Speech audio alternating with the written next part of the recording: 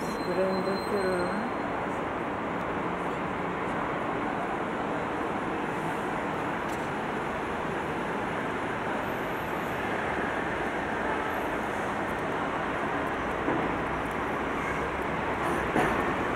Встреча у в 9 часов. И отправляемся на экскурсию городу. Вчера Париж произвел нас на нас сильное впечатление. Не слабое, во всяком случае, это вот район Мулен Руж. Очень интересен, яркий, веселый, шумный.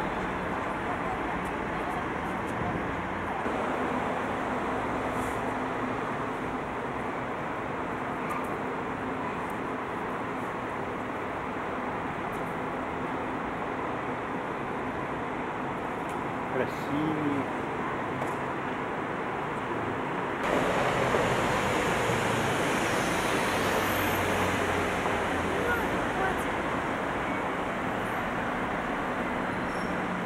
Ну, чтоб- Чтобы было понятно. 250 русских и прусских пушек пошло на витой орнамент с изображением Аустерлицкого сражения. Наверху фигура Наполеона Бонапарта в тоге римского императора. Но когда наша армия взяла Париж, наши хотели свергнуть эту колонну.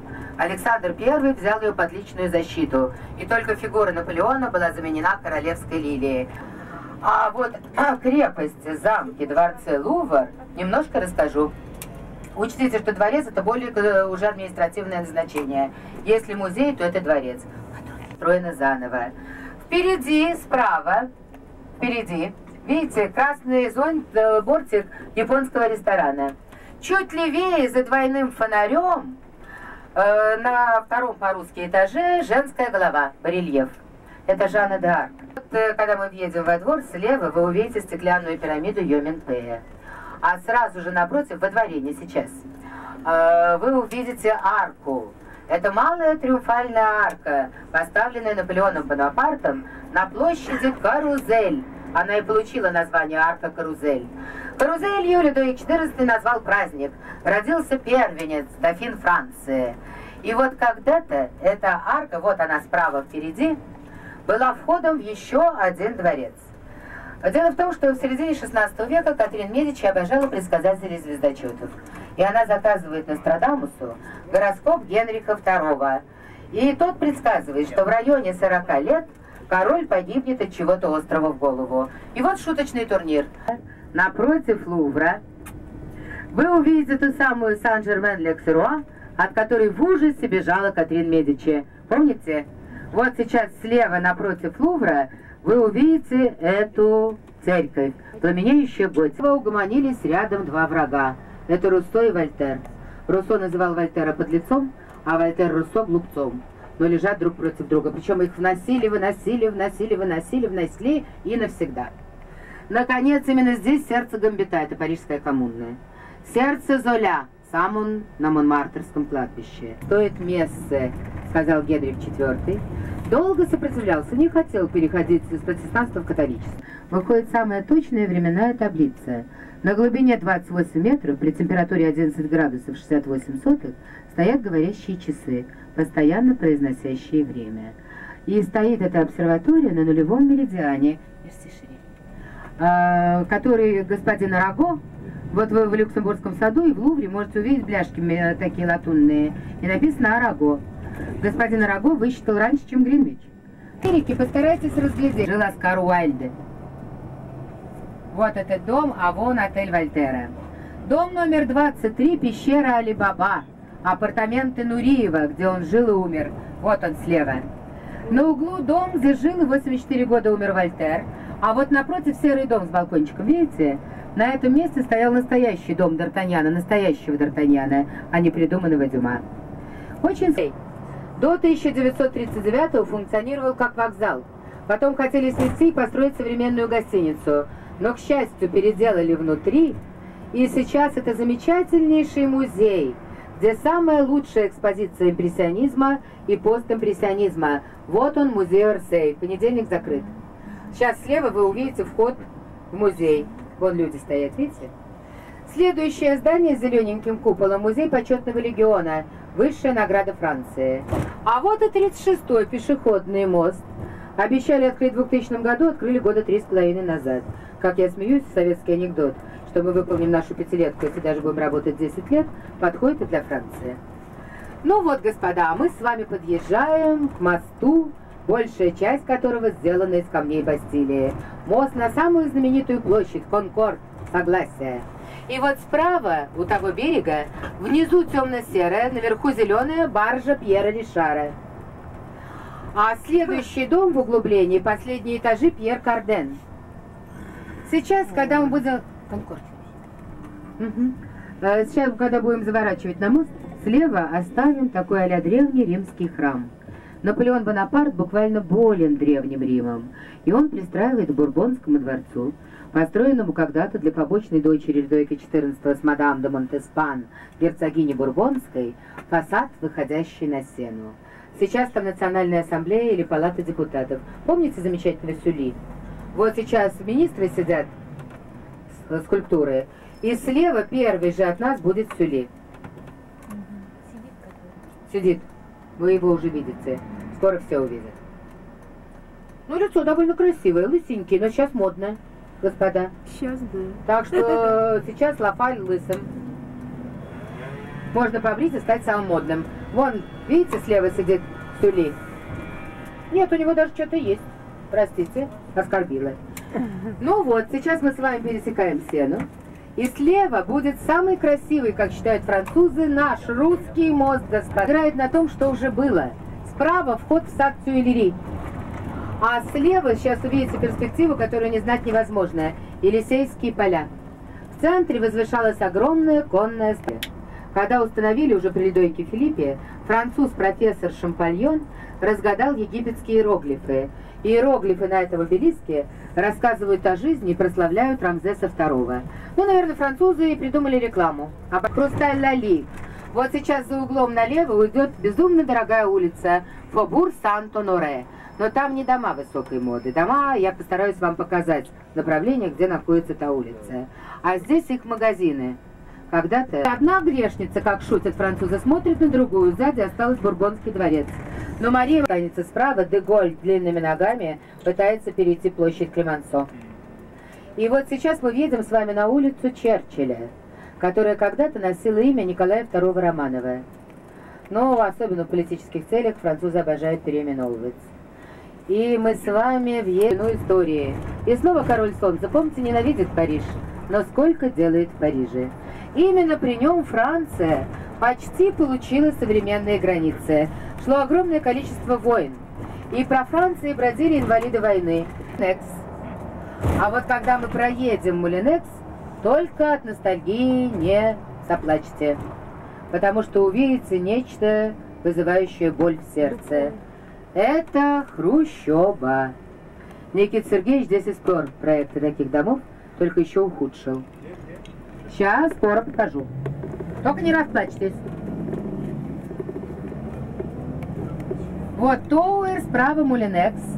И сейчас вы увидите зеленое полукруглое здание Эллипс, а за ним пятиэтажечка. Вон она уже появилась. Узнали? Боль в сердце есть? есть. А как она сюда попала? У нас-то разрушается. Тоже, здесь тоже уже разрушают. Вот эти ступенечками дорогие частные апартаменты. Когда-то в 1957 году все началось с низкого здания, которое называется КНИТ. А, дело в том, что, помните, в 1937 был, была последняя всемирная выставка. Квадратных метров всего на трех опорах. Это здание КНИТ. А вот когда мы сейчас будем приезжать в его фасад, за молоденькими деревцами обязательно разглядите. Палец задранный вот так кверху. Мол, во как построили. Это замечательный скульптор Сезар. Друг Пикассо и участник сумасшедших лет Монпарнаса сделал такой памятник. Но даже можно снять отпечаток пальца, только что ноготь не растет. Вот сейчас слева за деревцами у фасада КНИТ.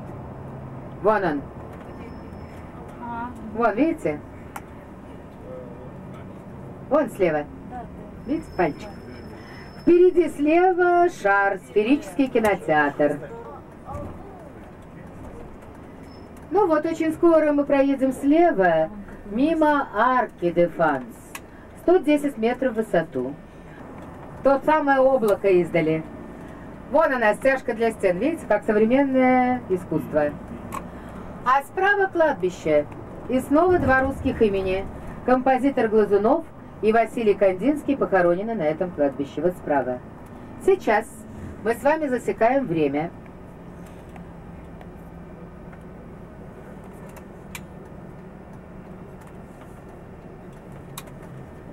Вот она арка. Помните? 110 метров высотой. И, наконец, на улице, цветы, современная скульптура. Палец видели? А вот еще одна. Голова древнеримского воина. Э, Скульптор польского происхождения ветеран изобразил воина в высоту матрос. Военных нет. Э, Не знаю, что он мыслит, но думаю, тоже, что и я. Что у воинов в голове на нет. Только воины. Поэтому, когда вы обходите, в глубине вы видите медузу горгону барельеф и несколько маленьких барельефов больше. То есть, скорее всего, я права. Но голова как нельзя лучше стала здесь. Лен, Ну и, наконец, вот сейчас вас будет хорошая жизнь. И я вам рекомендую подняться по ступенечкам. Наверх не поднимайтесь, не успеете. Пройдете Чикаре Лувра. Луксорский обелиск на площади Согласия. Триумфальная арка, которую мы еще видим. И арка Дефанс развернута на ту же самую ось. И арки построены как. Это Люш, она...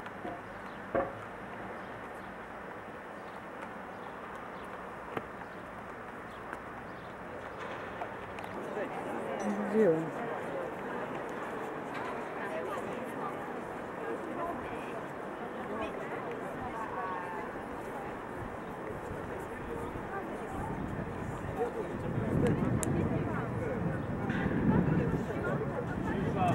Да нет, ерунда. Ну хорошо, ерунда. значит, Да, да, да, да, я отсюда?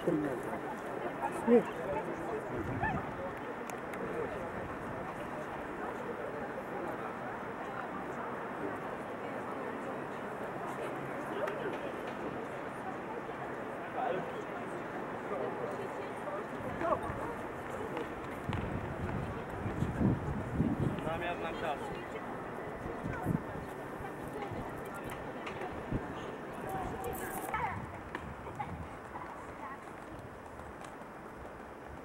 Я думал, ты ушел.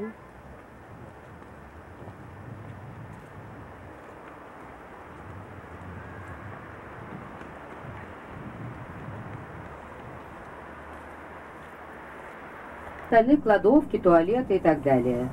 Но люди селиться здесь особенно не хотят. Э, Во-первых, качество домов не очень. Э, А во-вторых, Дефанс, э, когда закрываются офисы, неспокойное место. М, И вот весь квартал вот этих ободранных домов, тут мать родину, довольно злобно увидите, орет во все горло. И голые. Справа вы увидите совершенно голого солдата. На что Рют с юмором ответил, когда Отечество в опасности, не думают о штанах. И вот сейчас слева коронация Наполеона. Справа я вам покажу дом в стиле модерн начала 20 века. Сейчас это коммерческий кредит. А когда-то был отель Элизе. И вот э, в этом отеле когда-то арестовали Мату Хари, а потом расстреляли в Винсентском лесу как немецкую шпионку. Ну, сейчас было из Оникса. И языкатые французы начали шутить. Кончился тротуар, началась лестница. Но знаете, делать тротуар – древняя профессия. У нее здесь был прекрасный литературный салон. Теофиль Готье, братья де Гонкур посещали. А мы с вами подъехали к маленькой круглой площади. Ром-Пуа де Шанзелизе, круглая точка Елисейских полей. Она всегда прекрасно украшена цветами. Трубки в фонтанах из хрусталя лалик, престиж. Вот она, историческая ось Парижа, мы по ней едем. И вот сейчас направо уйдет проспект Монтеня, где дома высокой моды. Нина Ричи, Кристиан Диор, Шанель, Валентина. Кого там только нет. А в доме номер 12 по проспекту Монтеня жила и умерла Марлен Дитрих. Ну а сейчас вы сделаете на, эти, на улице этого города и чуть-чуть побродите. Вы увидите, что ваше настроение капелечку может быть, но все-таки улучшится. У каждого классика можно найти что-то сказанное о Париже. Но лучше всех Париж назвал Хемингуэй. Планете Из поля.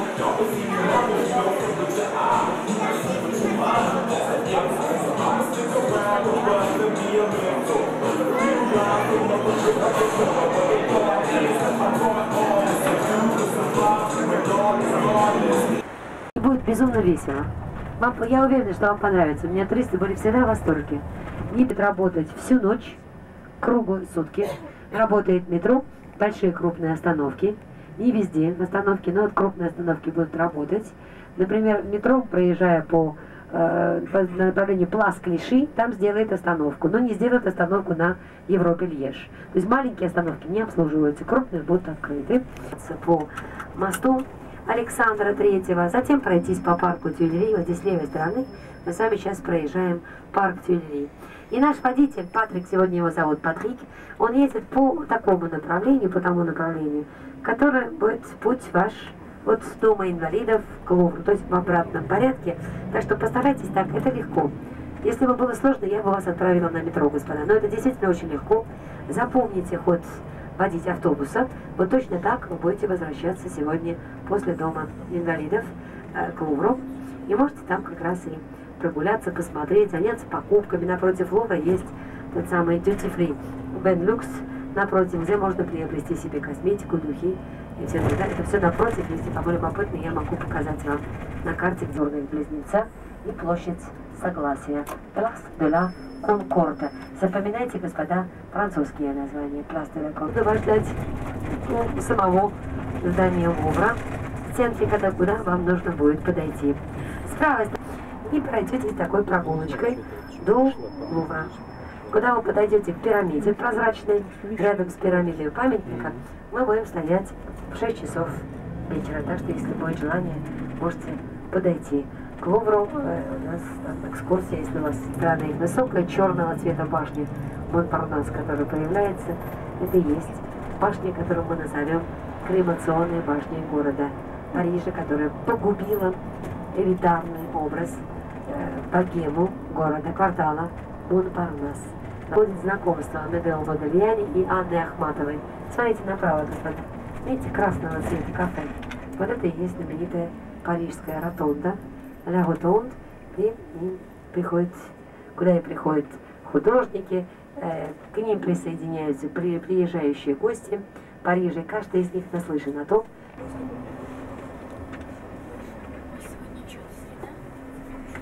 Скажи, ты знала ли Маяковский французский язык? Или Нет. вряд ли?